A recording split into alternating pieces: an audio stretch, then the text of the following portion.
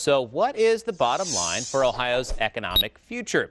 Joining us now is Christine Poon, Dean of the Fisher College of Business at The Ohio State University. She spent 30 years in the healthcare industry, most recently as vice chairman and member of the board of Johnson & Johnson and worldwide chair of the pharmaceuticals group. Mrs. Poon, we appreciate you joining us. And uh, let's start off with our show, Ohio Means Business. We're so excited, our partnership with Fisher and Ohio State Thank University. Uh, today's topic is alternative energy. That's the widget of the day, but we will explore many more widgets in the shows to come. Uh, is now the time, in the wake of this recession, as we look for, forward to the next couple of years, is this the time to invest and is this the time to shape Ohio as far as the business side of things? You know, one thing about business that never changes is, despite the economy, is the importance of innovation and talent to businesses. And what's really special about this show is really the integration of businesses, the university, the community, the government here in Ohio to really drive this wonderful economic environment.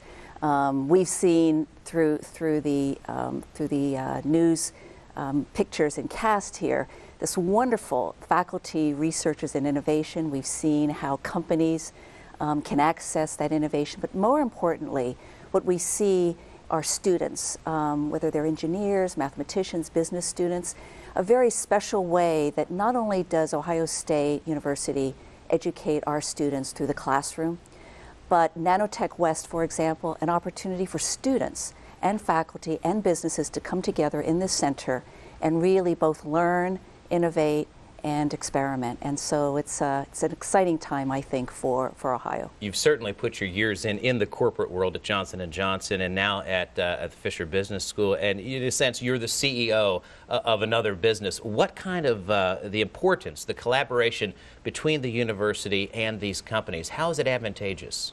Oh, you know, I just spoke about one of the opportunities for the students to actually, while they're going to, to school here, actually um, uh, being able to participate in what we call action based learning or experiential learning.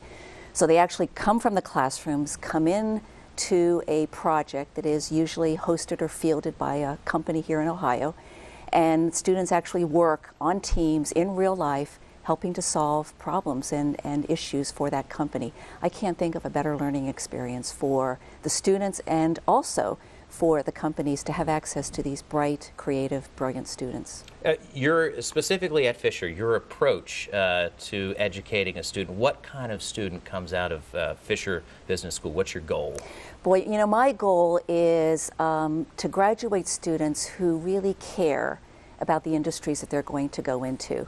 I am not a believer that you can graduate with a degree and it doesn't matter what you do with that degree. I think it matters. And if you have a passion for energy or healthcare or um, social philanthropy, that will make a big difference in how you apply your degree. So I'm all about engaging and getting people excited about the industries that they want to go into.